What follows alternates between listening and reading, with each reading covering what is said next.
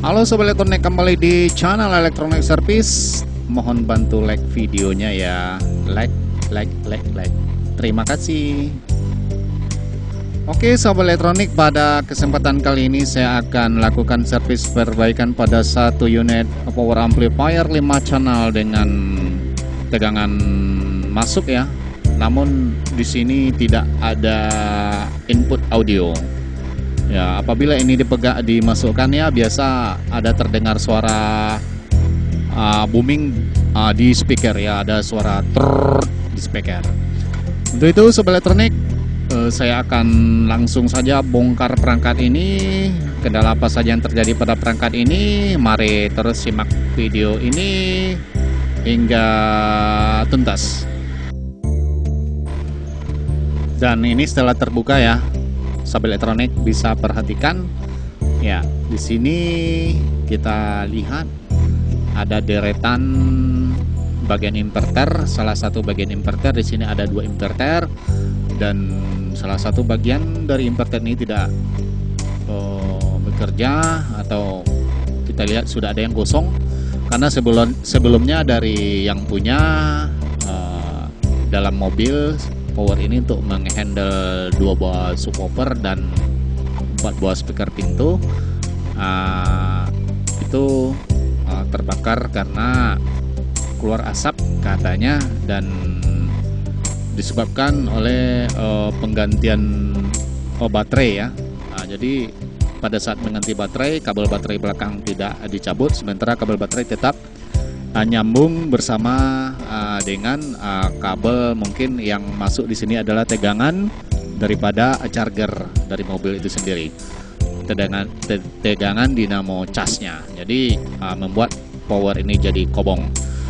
Untuk itu sobat elektronik uh, di sini kita harus buka dulu semua baut-baut yang menempel ya. Uh, untuk menempel di plat aluminium kita lakukan kita buka satu persatu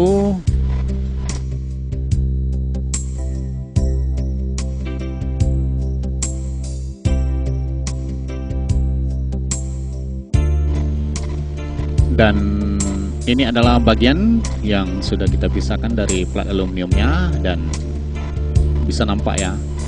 Ini adalah komponen oh, bagian inverter dengan tipe IRFZ44 MOSFET sini di belakang jalur udah nampak ada yang putus ya e, mengarah ke dan di sini fuse-nya sudah disambung langsung ya. Ini fuse-nya sekitar 50 ampere ini. Dan fuse-nya agak susah mencarinya di sini. Uh, sudah disambung langsung sepertinya dan saya sudah melihat seperti itu. Dan ini adalah bagian inverternya ada salah satu yang sudah putus. Dan di sini uh, karena bagian ini uh, sudah rusak uh, jadi uh, inverter memproteksi hingga uh, bagian yang sebelahnya juga tidak bisa bekerja. Di sini ada dua buah inverter, satu untuk menggerakkan subwoofer, satu lagi untuk menggerakkan channel 1, channel 2, channel 3 dan channel 4. Karena di sini ada 5 channel. Oke, kita akan mulai langkah pekerjaan pertama itu membuka dulu bagian RFZ44 yang uh, kebetulan sudah terbakar dan secara fisiknya sudah nampak ya terbakar dan kita akan gantikan dengan komponen yang baru.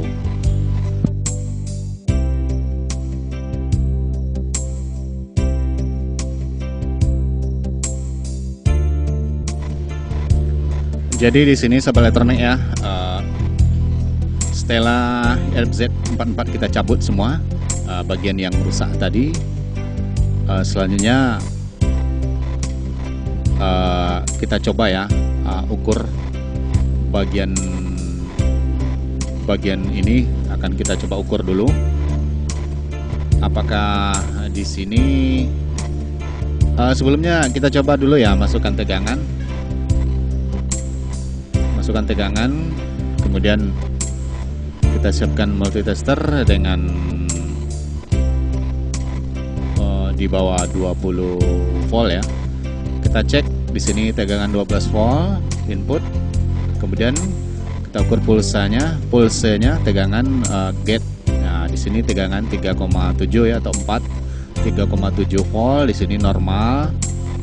Dan di sini kita lihat uh, tegangan gate kemudian inverter yang sebelahnya tadi tidak bekerja sekarang ya sudah kita dapatkan tegangan.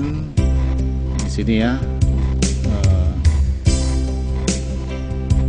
kita ukur bagian inverter uh, bagian channel 1 sampai channel 4 nya sini tegangan nampak ya 28 volt CT 28 volt CT dan ini yang saya tekan ini uh, ya, ini adalah bagian uh, swapper. Dan untuk itu sobat elektronik uh, berarti sebelumnya karena RFZ nya ada yang bermasalah jadi sehingga memproteksi uh, bagian ini hingga uh, bagian inverter satu lagi tidak bekerja. Setelah kita cabut dan ternyata inverter yang channel 1 2 3 4 itu uh, langsung bekerja seperti bagian daripada IC TL494 ya yang uh, menggerakkan inverternya, modul inverter dan ternyata berfungsi dengan baik. Dan sini kita akan coba channel satu ya, kita coba channel satu. Uh, apakah setelah inverternya bekerja dan ada audionya ya, ada uh, inputnya berfungsi dengan baik, kita coba ya.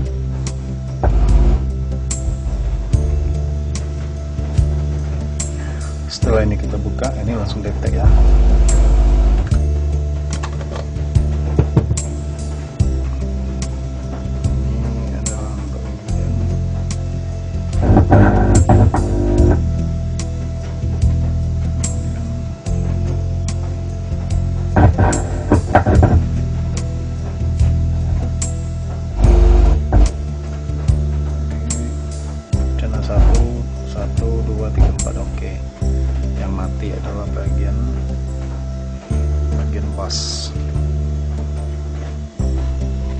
Uh, di sini sahabat ternak ya, saya buka resistor 47 ohm ya. Di sini 47 ohm ada yang terbakar ya. Jadi sekalian aja kita ganti semuanya. Resistor 47 ohm ya, itu untuk tegangan uh, berada di uh, kaki gate uh, pad uh, 44 dan di sini saya gantikan EFZ 44 dengan EFZ 48 uh, untuk langkah awal karena ada empat buah saya tidak akan ganti saya tidak akan langsung pasang semuanya. Saya cukup pasang satu kiri satu kanan untuk testing dulu. Karena apabila bermasalah nantinya uh, akan berakibat fatal uh, FZ yang bersangkutan akan jebol. Itu kita pasang dua aja dulu untuk testing.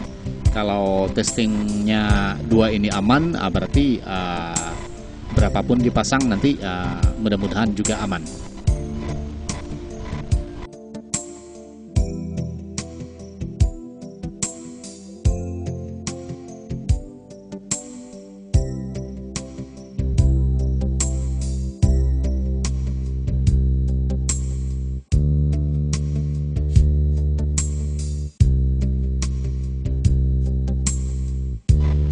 Baiklah, setelah RBZ44 kita pasang dan selanjutnya kita akan mencoba memasukkan tegangan. Di sini saya akan uh, ukur tegangan kolektornya ya. Uh, jika inverter bekerja, uh, ini akan naik tegangannya. Sini kita masukkan sebentar saja dan wow, panas sekali sahabat elektronik. Sebentar saja. RBZ 48 itu panas sekali. Kita coba lagi. Sebentar saja ya. Coba lagi. Bentar lagi. Wow wow wow. Panas sekali. Tidak bisa dilanjutkan. Apabila ini dilanjutkan sepertinya bisa meledak ini. Berarti ini masih ada ya bagian yang lain ini yang bermasalah sehingga membuat RBZ uh, inverter ini tidak uh, bekerja. Untuk itu uh, pekerjaan kita akan berlanjut ya uh, mencari uh, di mana terjadi penyumbatannya. Uh, tentu saja kita akan satu-satu persatu ya uh, kita akan buka dulu transistor finalnya karena ini adalah oh, bagian vital ya bagian pembakaran. Istilahnya di sinilah terbakar uh, radio uh, terbakarnya tegangan itu menjadi suara dan untuk itu kita bongkar dulu bagian transfer finalnya. Kita bongkar semua kita cek dulu satu persatu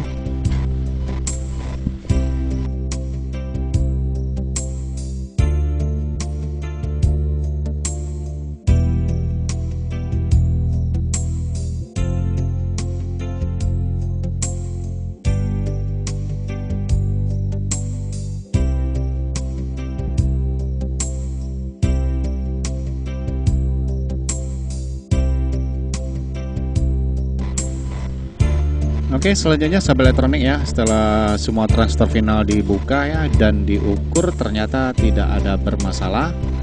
Di sini ada dua buah dioda ultrapas ya uh, untuk menggerakkan positif dan negatif. Ada dua buah dioda, dioda tegangan tinggi ya, dioda ultrafast ya, tegangan uh, ini kita buka dulu kita cek apakah bermasalah di sini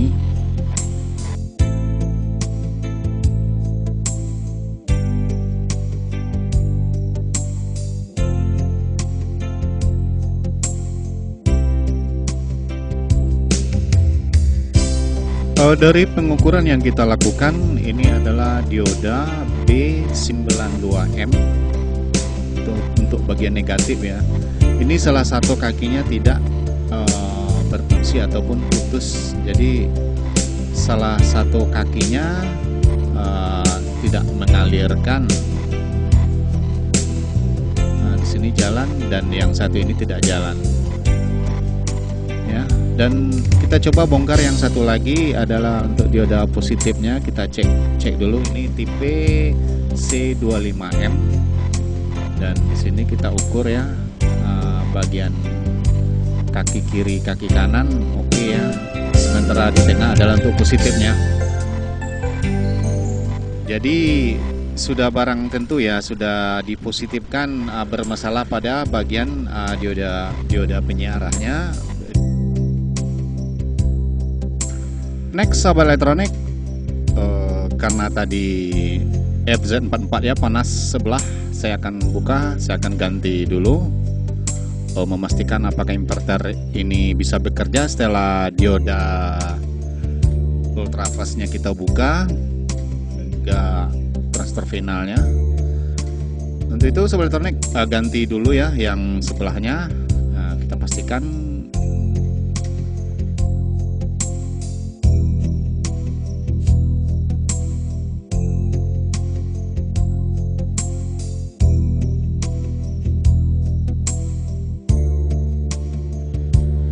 dan setelah kita mengganti ya uh, RFZ 48 tadi kita cek dulu uh, sebelum masukkan komponen dioda pasnya kita cek dulu di output trafo ya sini sudah ditemukannya ada tegangan uh, ada tegangan DC out uh, AC out dan sudah pasti uh, perangkat ini sudah bekerja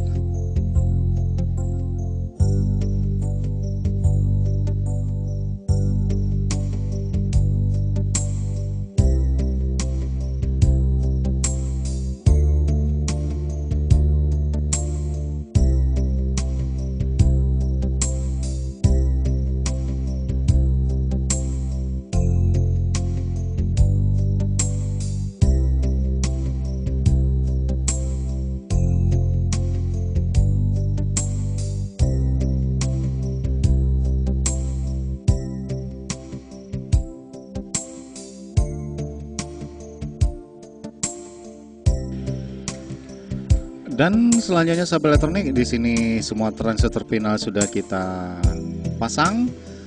Ah, masing-masing uh, kolektor akan uh, kita coba masukkan tegangan uh, jarometer di masing-masing kolektor uh, kita tes ya. Ini ada dapat berapa volt. Dan di sini terindikasi ya 75 76,3 jadi 76 uh, 76 76 volt ya berarti sekitar 35 35 36 ya 37 38 volt ya. Ada dapat sekitar 35 volt ya 35 volt CT tegangan untuk uh, bagian subwoofer ini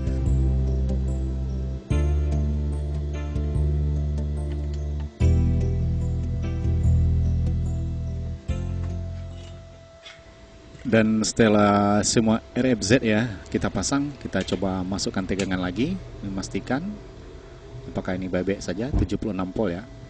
Dan input kita pegang uh, ready ya. Dan sementara uh, bagian uh, RFZ nya tidak yang panas tidak ada yang panas ya. Uh, menandakan uh, perangkat ini uh, sepertinya sudah uh, bisa dimasukkan kembali ke kandang seperti sedia kala.